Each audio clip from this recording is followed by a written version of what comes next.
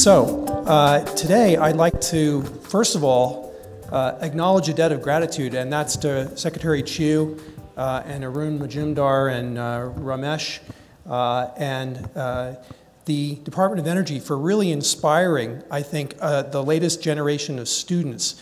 What we, I have here a list of students on my first slide, and former students and people who are young, young people and young people at heart who uh, really are the people that will drive this field forward. And these are people who are very, very smart people that have the options to do many different things, to go into other academic fields, uh, to go into healthcare, finance, information technology. They've chosen to dedicate their lives to this field, uh, partly because of your leadership and inspiration. Uh, and I think that's the thing that makes me most profoundly optimistic about the future. Um, so what I'd like to do is to talk about solar energy conversion at the thermodynamic limit. I'm the uh, academic representative on the podium today, and so I'm going to actually stretch beyond the sunshot goals and ask questions. Uh, what are the ultimate limits to photovoltaic conversion efficiency, and how can we get very, very close to those limits? I'm going to talk about uh, the role of light trapping structures, and how we could surpass what were previously imagined limits. And I think the point there is just a lesson that sometimes when a community, even a community of scientists, establishes a limit, uh, that is not necessarily a, a fixed uh, for all time. Thermodynamics is fairly fundamental, but uh, there are, there are uh, uh, new developments uh, that have changed people's way of thinking. and I'll talk about things that have to do with essentially the more uh, thrifty use of photons uh, uh, striking solar cells and ways in which we can uh, manipulate the entropy of photons in ways that can benefit efficiency and then finally stretch to what we could call ultra high efficiencies. Um, and so, as I mentioned, you know, the, the, the, the, people that really have done the work are, are listed here on the right-hand side of my slide at Caltech and at to uh, uh, uh, commercial entities, Calix and Alta Devices, both of which are represented here. And I also have had long-term collaboration with Professor Nate Lewis at Caltech and Albert Polman in the Netherlands. Um, so I think we can think about photovoltaic research and development broadly in, in, uh, in three ways. Uh, we can think about, first of all, there's an enormous amount of effort and uh, ingenuity and magic and uh, chemistry and solid state physics that goes into creating the materials. Uh, and that's an absolutely vital prerequisite. In fact, the technologies that are commercial today had the foundations laid for their technologies essentially at the inception of the, what was then the Solar Energy Research Institute established in uh, the uh, mid-1970s, which later became NREL. Uh, and it's the legacy of those materials that is with us today in the technologies that are commercial. Uh, once you have materials, then there's a, there's a very uh, you know, innovative and exciting period of device design where you can really understand the uh, way in which the material can be manipulated and uh, structured so as to facilitate the landscape for flow of electrons and holes. But there's another domain that has had less attention until recently, and that's the role of photon management. And uh, that's a regime that we have begun to explore uh, and that I think has a lot to offer uh, for all of the materials that are being explored for photovoltaics and give us an opportunity to go beyond current records and to go beyond some of the uh, previously imagined limits uh, uh, for photovoltaic conversion efficiency. And I'm going to concentrate today on things having to do with trapping light, essentially making materials more absorbing, uh, ways in which we can manipulate the directions of photons. That turns out to be important. It's something that we do in concentrating photovoltaics uh, uh, without thinking about it too explicitly quite often. And then also uh, using the solar spectrum in a more uh, efficient way, spectrum splitting, which is something we also do in multi-junction cells, but we'll explore where there might be some uh, interesting directions to go in the future with that. So um, I'll consult one of my favorite philosophers, uh, unlike Yogi Berra, it's Arno Sommerfeld, who uh, opined that thermodynamics is a funny subject. At first time you go through it, you don't understand it at all. The second time you go through it, you think you understand it except for one or two small points. The third time you go through it, you know you don't understand it, but by that time you're so used to it, it doesn't bother you anymore. Uh, so thermodynamics is embedded deeply in photovoltaics and in, uh, in essentially all energy systems, so it's wise to pay attention to it. Um, and indeed, what we can find if we go back to just the original conceptions using uh, detailed balance to imagine the uh, limits to photovoltaic conversion efficiency that were framed by Shockley and Queisser in 1961, that fundamentally the, the thing to pay attention to is the balance of the absorption and emission of sunlight. Uh, and fundamentally, we can cast that into a thermodynamic picture by thinking about the free energy uh, that uh, is uh, associated with the absorption and emission process. And from that, we can uh, draw some conclusions about the way in which the operating voltage can be affected by the design of solar cells. Uh, for one thing, we have just the balance, of course, spatially between absorption and emission. In the band picture, we can think about that as interchanging energy between photons and electron hole pairs and then vice versa. And there's a very deep reciprocal relationship, for example, between solar cells and light emitting diodes. A good uh, solar cell makes a good LED, and a great uh, LED makes a great solar cell.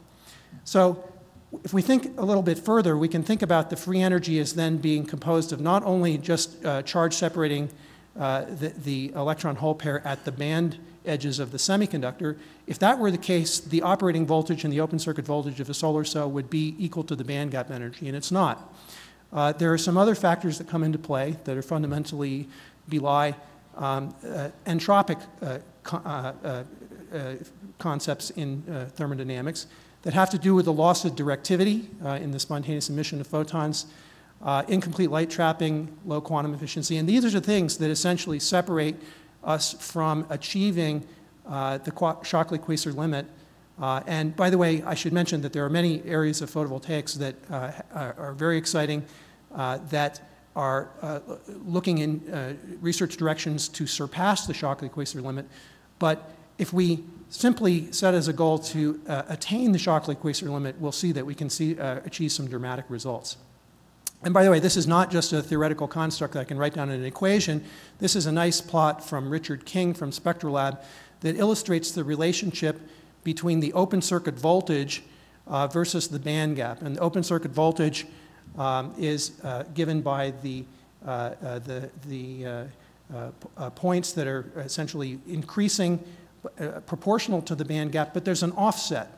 Uh, and the red triangles at the bottom illustrate that uh, across a wide range of materials whose band gaps range from around six tenths of a volt up to almost two volts, all high quality materials, that there's still this offset, and it's about 400 to 500 millivolts. And that is the result of those uh, entropically related terms that I uh, described on the last slide. So these are real limitations.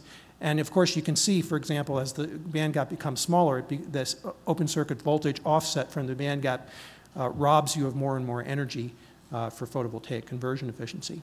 So in addition to Arno Sommerfeld, we can consult another philosopher uh, and uh, who opines that the world requires crazy ones, rebels, troublemakers, the ones who see things differently while some see them as crazy ones, we see genius.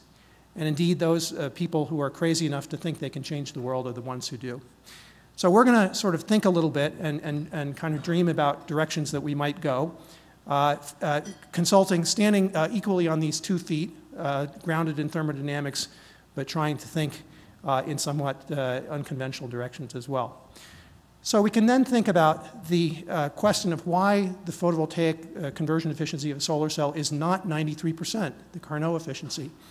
Uh, and there are a variety of reasons that uh, uh, relate to the physical processes that separate us from the conventional efficiency of solar cells. Uh, and there are, many of them are related to the processes I described in the thermodynamic construction of the operating voltage.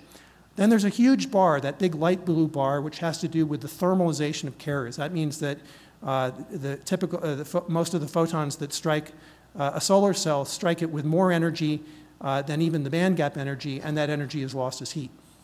And that's a huge uh, efficiency potential uh, that is being exploited. and I think it's one that, as we think about future directions, is one we should think about very hard as well. Uh, and indeed, there's a huge uh, opportunity to span the, the, the gap between current, uh, even record efficiencies uh, and, and, the ultimate limits. Uh, and so I'll come back at the end to propose that we should be setting our targets not at 15 or 20 percent, but really at 50 to 70% as the photovoltaic conversion efficiency that we should be thinking about uh, as, as, as noble goals. And the approaches that we'll take are to look at ways that we could manipulate uh, the uh, angular distribution of photons uh, ways in which we can use wavelength scale structures to uh, trap light more efficiently and uh, using fun, uh, different physics in the wave optic regime uh, than is true uh, for thick cells, for example, wafer thickness cells that operate by fundamentally ray optic principles. and then the notion of using uh, essentially optically parallel multi-junction cells. While multi-junction cells do exist in today's technology and they are the most efficient solar cells, uh, I feel like we need to give ourselves a little bit of freedom to think about how we might go even further. Uh, instead of two, three, four junctions, why not uh, six, eight, 12, 15 uh, junctions, and, and uh, sort of at least set out conceptually uh, the way forward for doing that. Um, so first to light trapping. If we think about light trapping, in any absorbing material, there's some portion of the solar spectrum that is absorbed completely, given by the shaded region under the uh, solar uh, spectral current density uh, versus wavelength here. And then there's a region of, for any semiconductor, in, of an absorber of non-infinite thickness, where the absorption is less than uh, the, that required to completely absorb the solar spectrum, and it falls off dramatically near the band gap. Uh, so we can think about the, uh, the ways in which we might increase the absorbance and one simple way, and this was articulated by my uh, friend and, uh, uh, and uh, scientific and commercial partner Eli Yablonovitch uh, about 25 years ago, was to note that if we simply uh, use Snell's law to sort of think about the way in which we populate modes inside a slab, a sort of sheet-like slab of material like a wafer, uh, we would only populate a, a, limited fraction of the modes given by the angles subtended uh, by the incoming photons. If we simply texture the surface, we can increase the number of modes that are populated and increase thereby uh, the absorption, the intensity inside the material and the absorption. And that essentially uh, was an argument set forward by Eli and uh, George Cody, uh, when both were back at Exxon uh, Research, um, to uh, set a limit to, for ray, in the ray optic limit for absorption of light. and indeed, we can see then that this allows us to absorb more light at a given thickness, or if you set as your goal to absorb a certain fraction of the achievable, maximum achievable photocurrent in a solar cell, we can use principles like this to reduce the thickness, and that of course reduces the cost, the complexity, uh, the weight, and so forth of the photovoltaic device. It's a very desirable thing to do. Um, so one, uh, I'll, I'll, give you a couple of examples, uh, some of my favorite examples of ways in uh, light trapping can be used and one is to dramatically uh, perturb the aspect ratio of a solar cell, uh, and by growing an array of micro wires.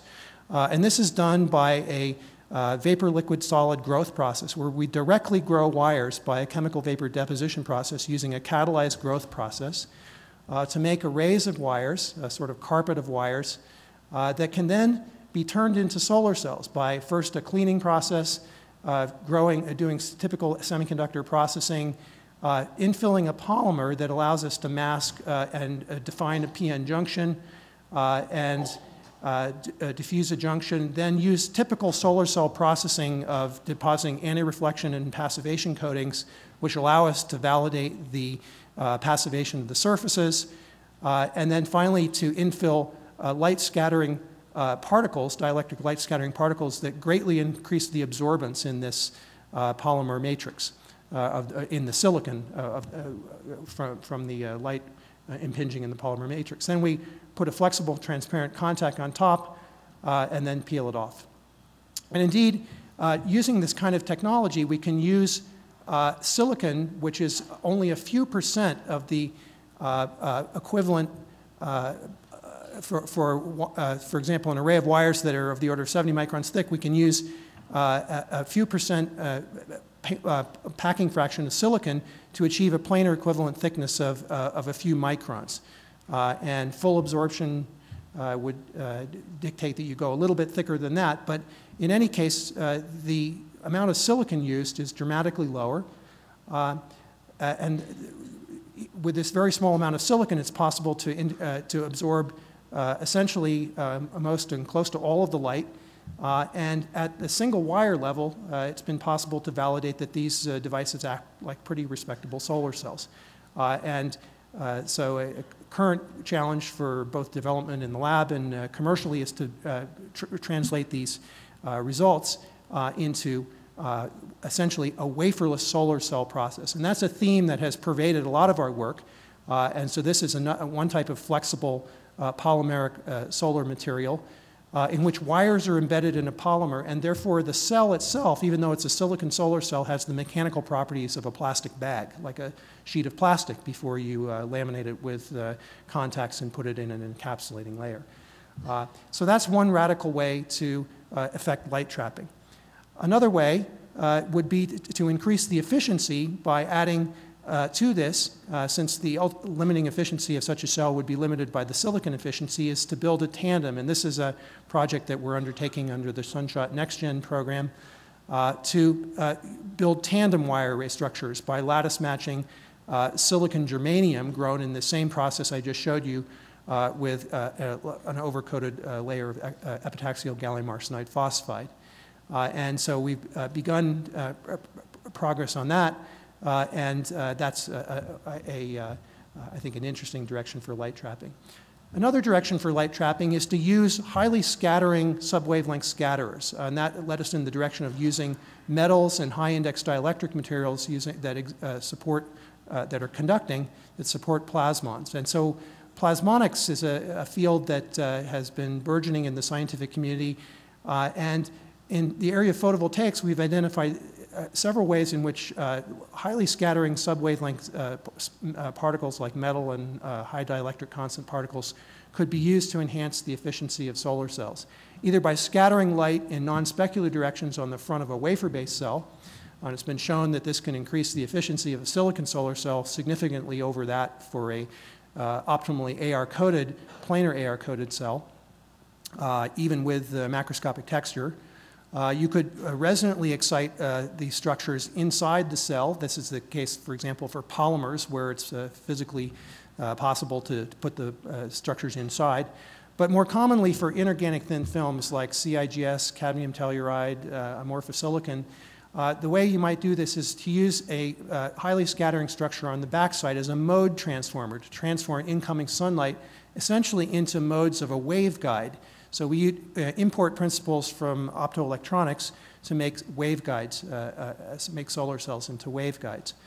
Uh, and so this is an example of such a process uh, applied for uh, amorphous silicon thin film solar cell technology in which a stamping process is used to produce subwavelength scale scattering patterns and the process technology and growth structure is very similar to that that's used in a conventional amorphous silicon solar cell process. In fact, this is done with a semi-commercial process, uh, and to make a PIN solar cell essentially on top of a light scattering back reflector. And this back reflector acts as a mode transformer for the incoming sunlight. Uh, and we were interested in a scientific uh, study in understanding what, uh, although the uh, photovoltaics community has widely assumed that randomly textured structures would produce the best light trapping, we're asking the question of whether random is best.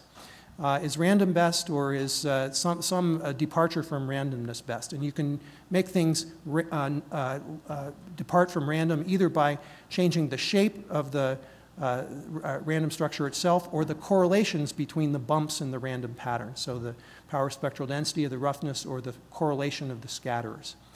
And what we found was that in fact, ordered structures outperformed in terms of the photocurrent and efficiency random structures. And so this turned on its head sort of a lot, uh, many years of wisdom about how to do light trapping in thin films. Uh, we found that actually the, uh, if we make highly structured bumps, uh, here shown in the random picture of uh, a random array of bumps in the middle, they're very quite similar in efficiency to the uh, absorption and light trapping and efficiency to the ordered array on the right. So it's okay if the bumps are, have some lack of long-range order, but it's very important that you make the bumps the right shape. Uh, and so a randomly textured glass structure like the Asahi glass turns out not to be optimal.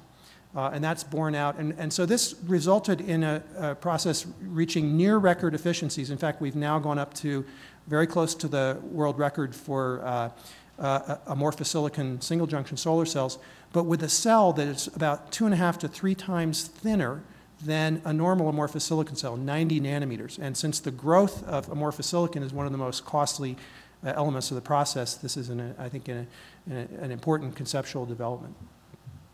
So I also want to highlight that uh, we're, get, we're beginning to be very quantitative, and we can use uh, full field uh, solutions to Maxwell's equations to be very quantitative in predicting the light absorption inside solar cells and to closely match between uh, performance of uh, uh, experimental devices and those that are designed using uh, theory. And in fact, uh, you can see here there's relatively close correspondence, and essentially the uh, calculations on the right were a prediction that were made before the experiments on the left of the spectral response were conducted for flat, randomly textured and ordered structure. And You see there's not perfect correspondence, but what it indicates is these calculations are increasingly going to be used as design tools. So we have not only device design, but we have photonic design tools that will help us.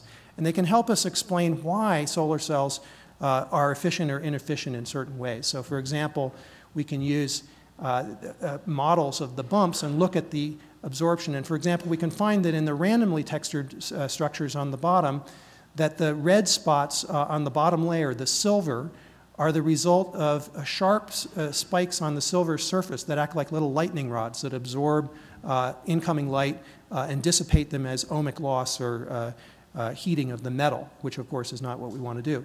and the more rounded bumps on the top scatter the light rather than absorb it. The, the, the scattering efficiency is much a much greater uh, uh, fraction of the extinction than, than the absorption. and so we can fundamentally understand why certain cells can be more efficient optically than others. Um, so what about this business about the, the light limits to light trapping? So as we go to thin films, when we have a, a, a cell which is not uh, the thickness of a wafer, which, uh, where we can use uh, ray optical ideas, structures bigger than the wavelength, when we go down to a thin film, the cell itself is of the order of a wavelength of light thick. So therefore, in that limit, we need to look at the energy in a solar cell as uh, manifest not only by the photon energy, but the density of modes. And that can be very different, the density of uh, uh, allowed modes where the cell, uh, the light can live. Uh, and we know this from looking at waveguides and optical fibers that we use in our communication systems. Uh, and indeed, I won't go through this in detail, but basically this is just uh, uh, uh, motifs for, for example, thin films of semiconductors, thin films with metal on the front, metal on the back, thin films with holes in them, and thin films that include things like antennas. And we can find that the density of modes in the absorbing part can dramatically depart from its value in bulk materials. So there is, in, prin in principle, the potential to make materials much more highly absorbing per unit volume in thin films than in bulk materials. And so these are just some examples where thin film cells, and these are examples using polythiophene polymer uh, uh, solar cell materials, where uh, uh, the, the, design of the structure allows you to beat the absorption in the ray optic limit. And so this is uh, an exciting area that's challenging previous uh, limit. This is fully consistent with thermodynamics uh, and Maxwell's equations and so forth. But what it, is, it does say is that inhomogeneous materials can sometimes be more efficient than homogeneous ones. So to come back to Alta devices, you can ask the question, uh, how is it that it's possible to get uh, to uh, record efficiencies? And uh, if you have a very special semiconductor material like gallium arsenide, the that this is a material that is also a very efficient LED. And so when light is absorbed in the material, uh, electron hole pairs are created with high probability they are internally re-radiated. And just the spontaneous emission itself can effectively act like a scatterer. So I don't even need to texture the film, and I get the effect of randomly uh, populating light in the modes. Uh, and fundamentally, if I can now put a highly reflecting layer on the back of the cell, uh, then uh, those internally radiated photons then don't get absorbed in the substrate. So I will assert that the most efficient cells as we go forward in the future will all be thin film cells they, because they can exploit this optical advantage of confining the photons in the cell. So I look forward to seeing many uh, uh, people in the room who are working on PV devices to use these kind of principles. Uh, so Alta has achieved this thin film technology by peeling layers off uh, of the substrate in the video you just saw. Uh, here's an example, and there's uh, Chris Norris standing in front of the machine that's used to grow the thin films of the order of a micron thick. They're peeled off, uh, and it allows you to make cells of the, of the type I just showed you, where we can cycle the photons and achieve a very high open circuit voltage. Uh, and so the record efficiencies at the cell level uh, that have now been uh, confirmed uh, by NREL are at 28.8%. The records keep changing uh, uh, week by week and month by month, um, with a thin film module efficiency record of 23.2%. and there's myself and Eli with a nice module created by the team. Um, so we can now think uh, further, if we have a highly uh, radiatively efficient material like gallium arsenide, um, what could we do to improve the voltage uh, even further? So if we have a thin film uh, of material using the ray optics we described before, the light comes in in a cone. Uh, and if it scatters around in, in, back, then light will emerge from the cell uh, if it's uh, within the cone uh, defined by the critical angle for reflection, total internal reflection from Snell's law. What if we could do something, uh, and, and so indeed the emission uh, which dictates the dark current and therefore also critically affects the open circuit voltage of a solar cell. What if we could manipulate the emission uh, from the cell by doing something like this? Uh, to put a parabolic uh, optic uh, on, the, on the front, uh, and in fact, this is something that's done in concentrator solar cells all the time. But let's imagine we do this uh, with the solar, and, and we think about what's happening now. That means that the uh, light uh, emerging from the cell is emerging only from a smaller cone than it was uh, without the concentrator. So we can think about using these kinds of structures uh, in a one sun solar cell. So imagine we could produce a little tiny ray of, uh, of microstructures that would allow the light to come in and uniformly excite the semiconductor with carriers uh, but collimate the light uh, coming out so that as to reduce the dark current. Uh, and so you can imagine that if you had perfect uh, fluorescent material and perfect reflectors, that you could actually achieve efficiencies uh, exceeding 40% uh, at angle restrictions that correspond to these various levels of concentration shown. Well, of course, real materials don't have fluorescence and radiative efficiencies of one, that are 100%. They're limited by Auger recombination in uh, uh, semiconductors, but it's possible to, with dielectrics to make the reflectivity pretty darn close to one. Uh, and we think there's an opportunity actually to go with one sun solar cells with such a structure up to efficiencies somewhere between 35 and 40 percent. Um, so here's, for example, what such a structure might look like. Uh, and these are microphotonic structures. These were made by a non-scalable process called two-photon lithography. Um, and they're about uh, 10 microns wide and 22 microns high. And we drill little holes in the bottom of them. Uh, so each one of them is a little microscopic version of a structure that you, uh, is used uh, in concentrating photovoltaics today on the macro scale. Uh, and this is what it looks like, uh, light beaming out of such a structure. These things, in fact, do collimate light. and so they offer potential for creating a photonic layer even on one sun solar cells. Um, so finally, what might we do about the thermalization uh, challenge? So if we think about uh, carrier thermalization, in a single junction solar cell, uh, the photons above the band edge play a huge, uh, suffer a, a, a huge um, efficiency penalty, a photon uh, energy deficit right at the outset, even before we've uh, had to deal with the entropy issues that we talked about before. so we can think of, and, and this is in fact the reason why, uh, one of the reasons why multi-junction cells are now among the most efficient cells. But let's dream a bit about ways that we might go even further with multi-junction cells. Uh, what we, the ideal multi-junction cell would be one where we could uh, optimally direct the portion of the solar spectrum uh, that is exact, exactly matched to the semiconductor band gap at exactly the right uh, solar in intensity for that cell, uh, generating exactly the right photocurrent for that cell regardless of the photocurrent in the other cells. Uh, and so that we would like then, to, in, in, principle, to be able to collect the currents independently uh, to focus the light independently on each subcell. So we can imagine then creating structures where uh, we have a, sol- a, motif that consists of a spectrum splitting layer uh, and use some of the uh, liftoff techniques, for example, that Alta and many others have developed. For example, Semprius is another example of a company innovating in this area, where we can fundamentally manipulate thin film cells to create structures like the one shown uh, very uh, sort of schematically in the upper left corner, which in reality are essentially uh, optoelectronic integrated circuits, complex optoelectronic integrated circuits. You might say, well, that's going to be really expensive.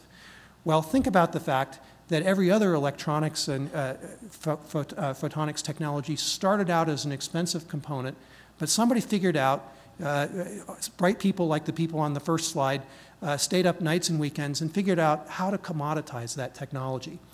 Uh, so what might seem, uh, you know, very expensive today, if you let your imagination run, you could imagine being actually quite feasible. In fact, many of the things we're doing today looked expensive in the beginning. Uh, so we're in fact starting a, a, a project at Caltech, uh, and uh, we're building in the lab right now this summer a cell that looks like this. It's an eight-junction solar cell consisting of these uh, materials. This, by the way, is an idea with precedent. There have been other uh, uh, significant initiatives. There was a DARPA project in this area a couple of years ago, and many lessons were learned from that, and I think we will benefit from the lessons of that project. But I think, I think this is a very interesting direction for the future to think about really uh, tailoring uh, photovoltaic architectures to really uh, exploit the opportunity from thermalization losses and overcome the thermalization penalty.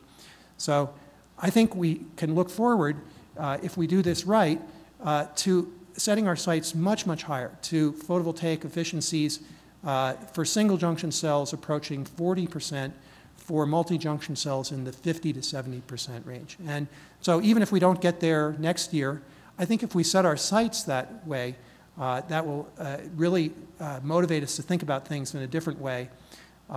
Uh, so I, I, will just conclude and say that the future of photovoltaics requires that basic science input. It requires the, uh, the, the, the, really energetic young people uh, who have been galvanized by interest in this technology and, and, and share your enthusiasm and really want to uh, push the boundaries. Uh, and high efficiency is enormously leveraging uh, as, uh, uh, as a way to reduce uh, overall cost because it reduces the cost of everything. It's the thing that's in the denominator of cost per watt. By control of quantum efficiency, radiative emission, light trapping, and efficiently utilizing the full spectrum. Of course, we have to achieve low cost. And, and to, that will require large-scale nanostructure fabrication. I'm actually quite optimistic about that. Uh, recently, I was at a meeting where somebody showed me a 100-meter-long uh, web roll of nanostructures. Uh, so uh, for those of you that think that the making nanostructures is an academic enterprise, I don't think it will be. Uh, but these are the things that will enable us to get to uh, uh, you know, not only to grid parity, but possibly well beyond with unsubsidized cost and true energy supply significance. Thanks.